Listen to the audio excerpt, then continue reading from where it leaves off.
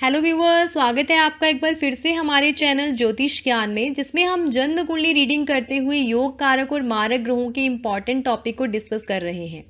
हमारी अब तक की वीडियोस में अलग अलग राशि की लग्न कुंडली में इन ग्रहों को समझते हुए आज हम एक्वेरियस यानी कुंभ लगन की कुंडली में कारक और मारक ग्रहों के बारे में जानेंगे।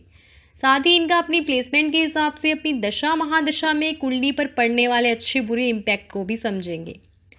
दोस्तों, अगर आप हमारे चैनल पर नए हैं तो चैनल को सब्सक्राइब करना और बेल आइकन को क्लिक करना ना भूलें, ताकि आपको हमारी हर नई वीडियो का नोटिफिकेशन मिलता रहे। इसके साथ ही हमारे चैनल पर अपलोडेड सभी वीडियोज़ को एक बार ज़रूर देखें, जिसमें हमने बहुत ही ईजी तरीके से कुंडली रीडिंग से जुड़े बेसिक्स को डिस्कस किया है।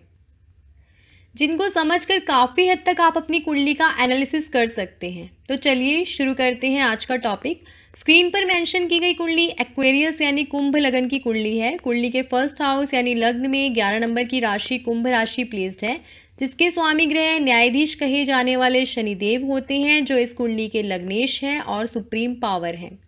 शनिदेव ने अपनी राशि की इस कुंडली में फ़र्स्ट हाउस सेल्फ हमारी पर्सनैलिटी से जुड़ा एक अच्छा घर केंद्र भाव और ट्वेल्थ हाउस त्रिक भाव, सभी तरह के खर्चों से जुड़ा एक बुरा घर अपने पास रखा।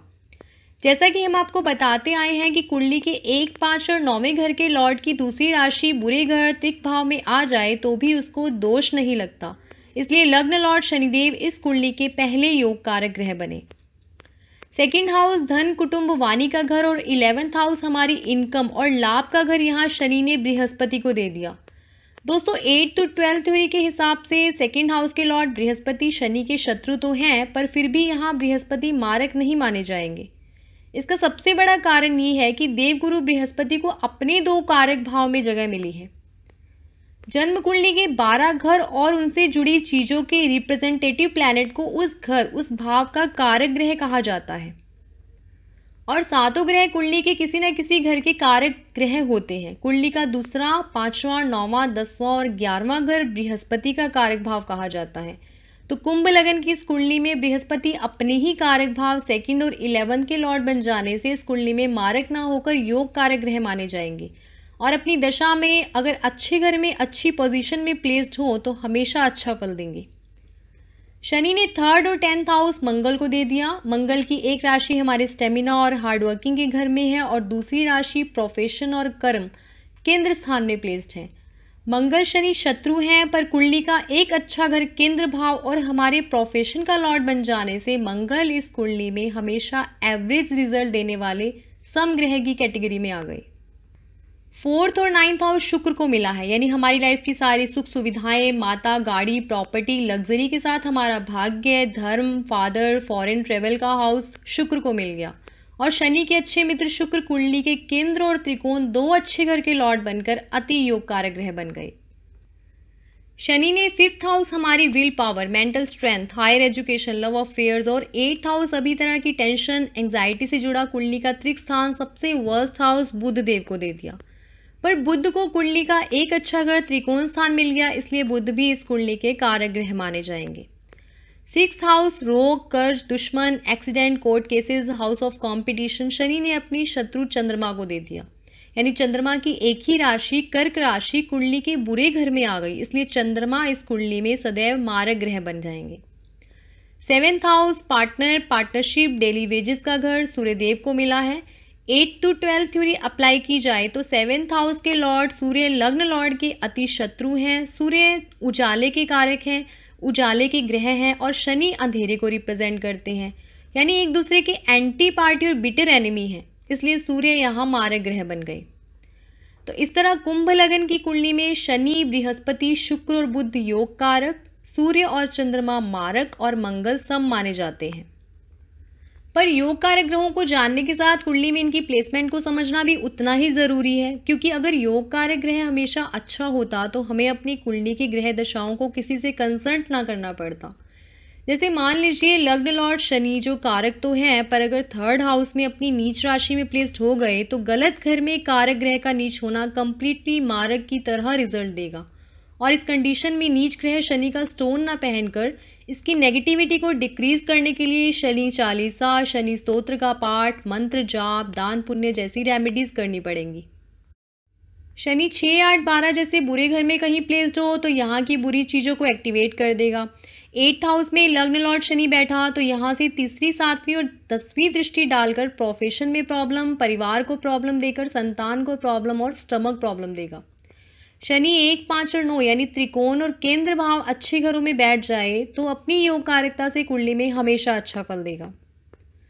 कारक ग्रह बृहस्पति सिक्स हाउस में उच्च के हों तो बुरे घर में कारक ग्रह उच्च का होकर अपनी पांचवी, सातवीं, नौवीं दृष्टि से कर्म भाव, खर्च भाव और धन परिवार को लेकर बुरे फल देगा। और बृहस्पति ट्वेल्थ हाउस में नीच का हुआ तो भी बुरा होगा, क्योंकि अच्छे घर का कारक ग्रह बुरे घर में नीच का होकर हमेशा नुकसान करेगा। मंगल कुंडली में सम है, ये जहाँ भी प्लेस्ड होंगे एवरेज रिज़ल्ट देंगे। मंगल सिक्स हाउस में नीच का हो या ट्वेल्थ हाउस में उच्च का हो, दोनों कंडीशन में नुकसान करेगा।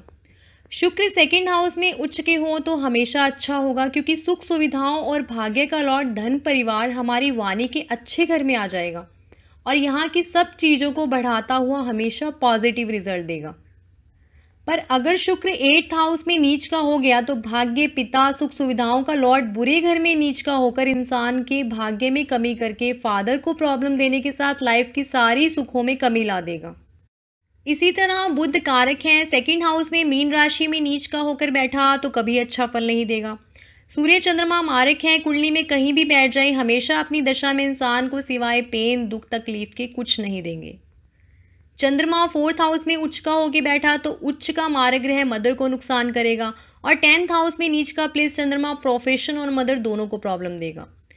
सिर्फ़ छः आठ और बारहवें घर में चंद्रमा विपरीत राजयोग बनाकर कुछ हद तक फ़ायदा अपनी दशाओं में दे सकता है।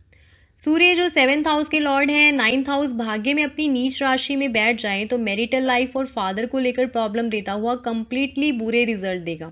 क्योंकि सूर्य छः आठ और बारह का लॉर्ड भी नहीं, इसलिए मारक सूर्य छः आठ, बारह में बैठकर राजयोग की कंडीशन में भी नहीं आता। यानी कुंडली के योग कारक ग्रह भी अपनी दशा में हमेशा अच्छा फल दे ज़रूरी नहीं होता। कारक ग्रह अपनी प्लेसमेंट और डिग्री वाइज कैपेबिलिटी के हिसाब से अच्छा और बुरा बन जाता है। अक्सर लोग जन्म कुंडली में पितृदोष और काल सर्प दोष के नाम से फ्यूचर प्रिडिक्शंस कर देते हैं, पर एक्चुअल में सारा खेल कारक मारक ग्रहों की खराब दशाओं का होता है। हमारी कुंडली में जिस ग्रह की महादशा, अंतरदशा चल रही है, वो कुंडली में कारक है या मारक है, इस चीज़ को देखकर उसकी नीच और उच्च पोजीशन डिग्री वाइज स्ट्रेंथ देखने के साथ उसकी प्लेसमेंट को देखकर कुंडली में उनका अच्छा और बुरा होना कंसीडर किया जाता है। और उसी हिसाब से इन ग्रहों के जेमस्टोन पहने जाते हैं। इस लग्न कुंडली में सूर्य और चंद्रमा लग्नेश के अति शत्रु हैं और मारक हैं, इसलिए इनके स्टोन मोती और मानिक कभी नहीं पहने जा सकते। अगर मारक ग्रह अस्त हो डिग्री वाइज वीक हो तो ये अपनी दशाओं में मेंटल डिस्टर्बेंस और ऑब्स्टिकल्स देने में वीक हो जाएँगे। पर अगर इनकी दशा खराब हो तो इनको शांत करने के लिए दान, पुण्य, मंत्र जाप करके इनकी दशाओं में मिलने वाली प्रॉब्लम से बचा जा सकता है। सो आई होप आपको आज का हमारा ज्योतिष ज्ञान पसंद आया होगा। So please like and share this video with your family and friends and for any query join us with our Facebook page ज्योतिष ज्ञान। और you can mail us on our Gmail ये दोनों लिंक आपको डिस्क्रिप्शन बॉक्स में मिल जाएँगे। तो मिलते हैं ज्योति से जुड़े एक नए टॉपिक एक नई वीडियो के साथ। धन्यवाद।